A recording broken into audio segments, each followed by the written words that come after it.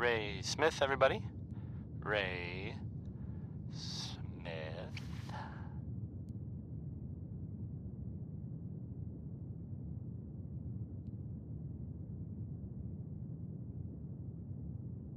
Here's the uh, the latest news, or at least the latest news that I've heard about. Maybe everyone else already knows. the uh, Brotherhood continues to do stuff around the Commonwealth. They were last seen uh, attacking Fort Strong. The fort was, I mean, as far as I know, filled with uh, super mutants. So that's fun. I guess maybe they're uh, gonna take over. I guess uh, that's an improvement, right? Brotherhood instead of, you know, mutants. That uh, that was a joke. By the way, I was totally kidding. Didn't really mean it. And if the Brotherhood is listening, I'm sure you're very nice. Please don't kill me. Here's Sheldon Allman with Crawl Out Through the Fallout. Probably some bad advice overall, but you know, it rhymes.